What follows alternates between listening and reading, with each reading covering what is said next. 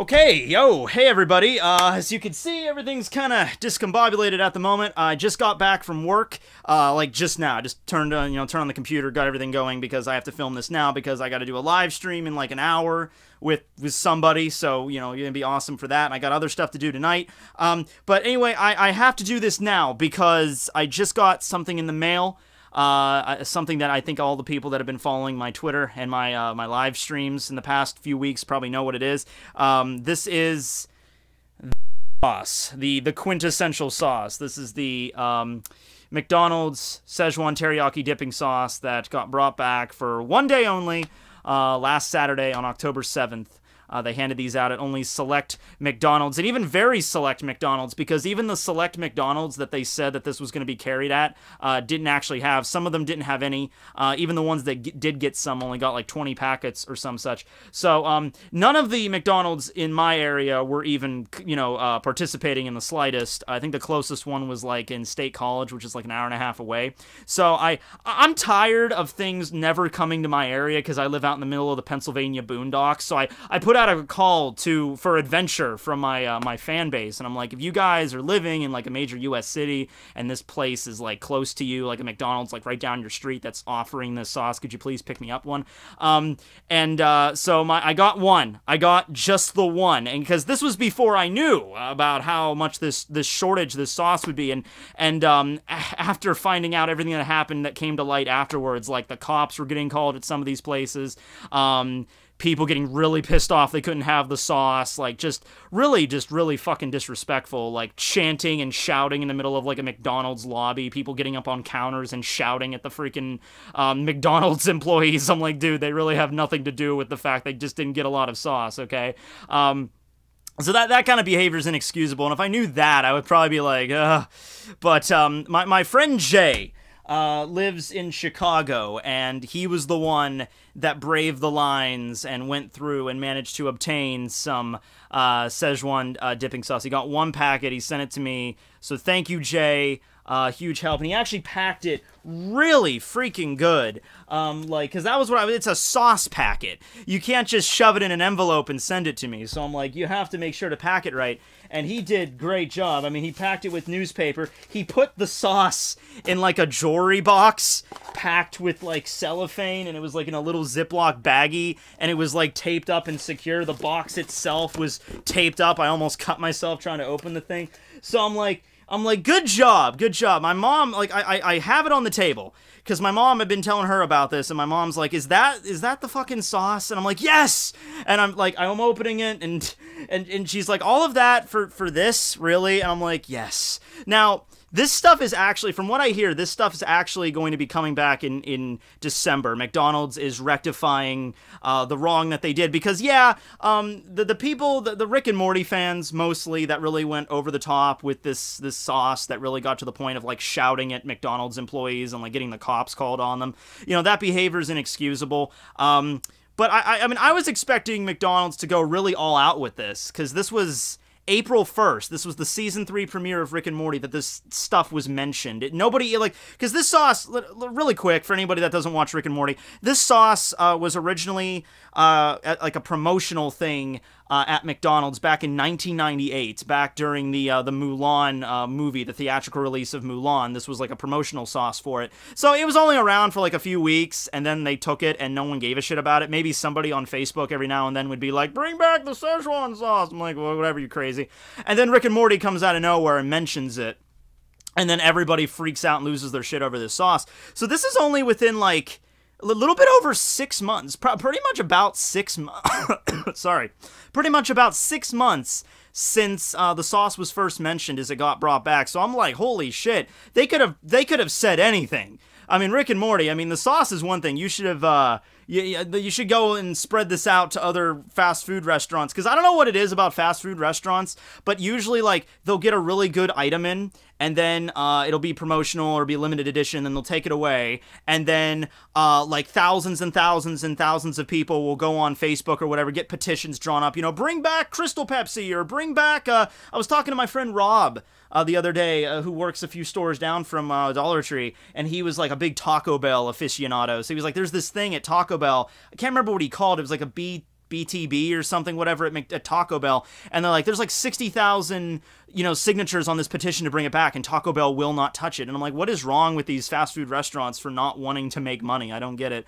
Um, I mean, maybe there might be a reason that not not to bring it back, but I, I don't get it, man. But hey, this six months, six months to bring this shit back, so." Um, I'm gonna try this now. I wasn't even try. I wasn't even uh, planning on getting this today. This was not. Jay told me this wasn't supposed to arrive till Saturday. But since today is Friday the 13th, I had this niggling feeling this fucking sauce is gonna come today, and I'm not gonna have my McNugget because I already went to Subway today. I got like a tuna sandwich. I'm gonna have that. I'm driving home and I'm like that.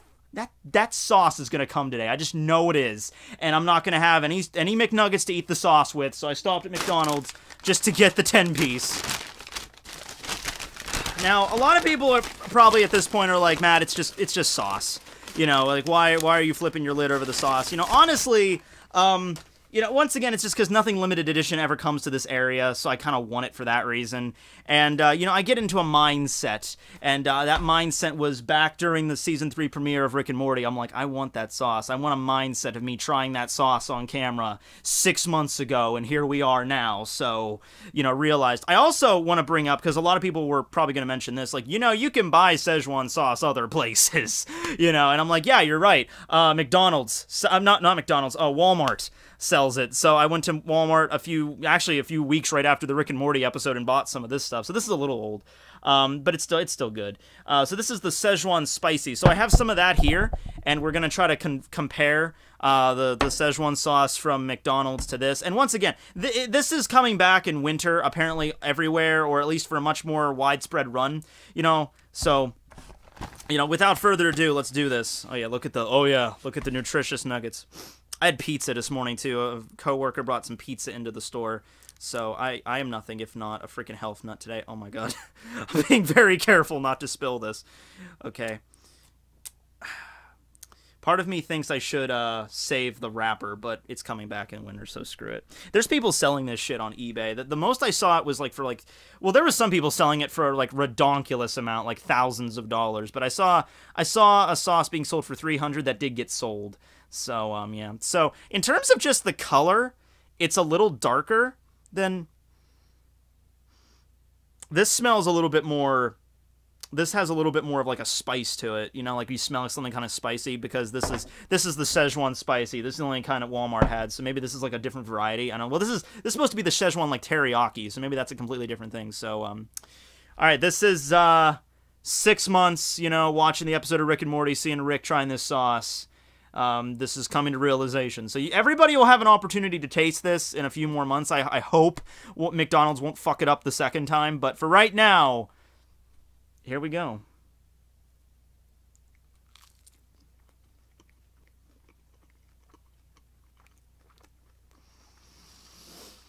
Hmm. That is really good. That is really fucking good. Um, It does not taste like this stuff at all. This stuff has a lot more kick to it. Um, not this, the the kind I already have. More more spice to it. This isn't this isn't spicy at all. I'm trying this with them. Um, like, did I think it was gonna be like instant fucking orgasm? Like I eat the sauce. No, um, I'm a fan of sauces. I'm a fan of barbecue sauces. In fact, I was going to do a video, a separate video series, like kind of like a successor of Making Toast. Um, going to be about barbecue sauces, where I like go out of my way to like critique the bottle of the sauce and everything like that, and give like a bunch of random numbers to it. Like it's got a three on uniqueness, or I, I don't know. I was thinking about it. Yeah. Um I, you know what? I, I, oh, by the way, I didn't have the sauce back in 1998. I, I was five years old, so I guess it's possible I actually could have had some and I just never remember it. Um, because I was mostly trying Happy Meal stuff back then, and I think there was a Happy Meal available at McDonald's at that time where you got McNuggets with it, I think. Um, so it's very possible I could have had it back in 98 and I just don't remember. Um, but I, I don't recall at all having it. Um, and, uh, so yeah, this is something I could definitely have seen getting addicted to. I don't know if I would go to the ridiculous extent that Rick did with it, but this is something I could definitely see myself getting quite a bit. Uh, this is good, man. This is really good. Mmm. Yeah. Now, it's also possible that, like I said, this is the only kind that Walmart had. But if I went to like um, you know, like an Asian foods, you know, market or something like that, I could probably find uh, different varieties of Szechuan sauce. So it's very likely that I could have just bought like a different, like go to a different store and bought like Szechuan teriyaki sauce, and it could have tasted exactly like this. I don't know. Um, but you know, I'm not really that concerned considering you know it's coming back in the winter. Uh, and everything like that, but just the fact that I have the chance to taste this right now, I'm, I'm just kind of soaking in the moment, you know. Mm. Yeah, yeah, yeah. That's pretty damn good. I'm you're probably getting like an ASMR thing right now because of the the microphone. This microphone's really good. Hold on, let me try that again. Let me get some. This is this is Szechuan sauce, ASMR.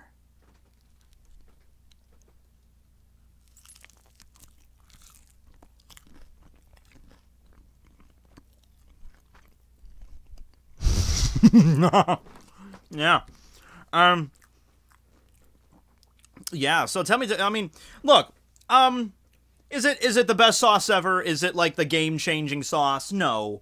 But it's it's pretty damn solid, and I could see McDonald's totally adding this to the to the freaking uh, menu. There's another sauce that they had. Uh, I think it was called sweet chili. That was really good. That was really good because I, re- I remember getting really into McNuggets like back in 2012. Like every time I went to McDonald's, I would always order the McNuggets. You know, that was back when I was like getting into college, so it's like I need the the junk food because there was a McDonald's right next to my community college. So I would have like I would try I sampled like every sauce they had, and uh, they had a sauce called sweet chili, which was really good. So uh, yeah, but uh, you know what? What also that's kind of really cool is how just the show Rick and Morty brought it back. You know, it's just like it's like the the fandom has power to do that now. Although McDonald's had no like I thought like there was gonna be like a big event like an official like tie-in. Like I was expecting the sauce to have like Rick and Morty on it like jumping out of the portal or whatever. Um but uh, unfortunately no. Adult Swim and McDonald's had like no official connection on this. That's why like the the label of the Szechuan sauce had like like it, it kind of resembles Morty sort of but not really um, you're not going to see like Rick and Morty on it or anything. Uh, I don't know why. The only thing I can imagine is that um, the the creators of uh, Rick and Morty uh, didn't actually tell Adult Swim about the whole McDonald's Szechuan sauce thing. They just made the episode and you know like put it out there, and they weren't like expecting McDonald's McDonald's to like do a big tie-in or anything. And Adult Swim probably just didn't give a shit.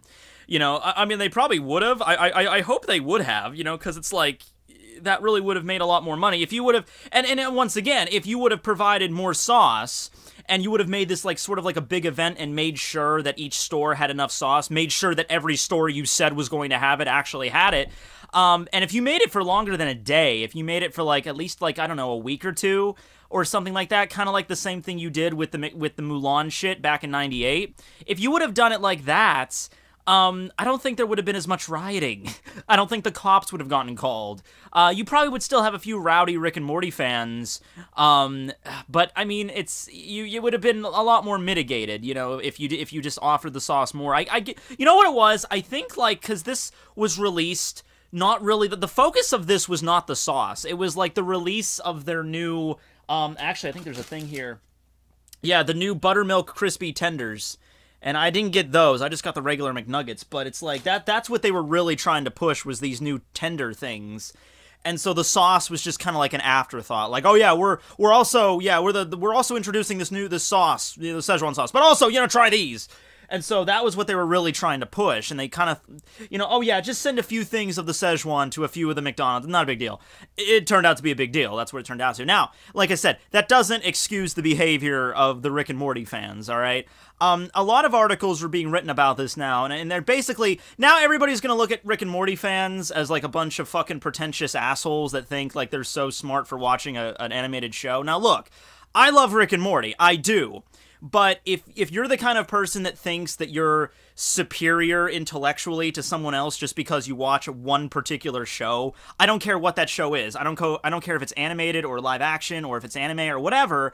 Um, I just you, that you're not very intelligent if you think that. If you think, oh yes, I watch Rick and Morty. There's there's meta humor and there's all this you know talk about like parallel dimensions and all this extra dimensional stuff and Rick's philosophy on life is so I understand it so much. You know, I'm not saying a lot of Rick and Morty fans are like that. I'm saying that that's the light that a lot of them are getting painted in now because of this behavior, um, which sucks. It's it's a shitty it's a shitty situation all around, basically. Um, so yeah, I mean, uh, don't don't think that. Like, I'm a fan of Doctor Who. I love Doctor Who. Does Doctor Who delve into elements of like metaphysics sometimes and like oh multiverses? And does it delve into things like philosophy? Of course it does. But I don't go around thinking of myself as superior because I watch Doctor Who. That would be ridiculous. So you know, it's it's still a really good show. Just you know.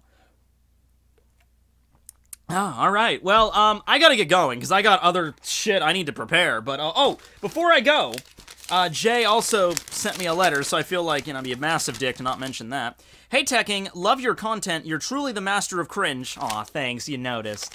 Um, hope the sauce reaches you in one piece. Oh, sorry about the pun, the packing. I may have overdone it, and about the pun too. Um, yeah, no, you didn't overdid it. You did good. What's up? Huh? What's up? Whatever. Um, I learned about the giveaway from your stream. Well, thank you. That's I think that's the only place I actually mentioned it. And I learned about you mostly from One Piece content. So be sure to thank yourself and Goda. Uh, all good things come from him. Well, yeah, they do. So thank you, Jay, once again. And uh, oh, um, one more thing. One more thing. I'm just gonna look up something here because um, while Jay was the only person that actually got the uh, the sauce, there was I think a few other people. I think one other person that actually tweeted at me that they had, they at least attempted it to get it and they couldn't get it because they ran out too quickly or they didn't have it. Um, yeah. So let me actually go pull up that person right now.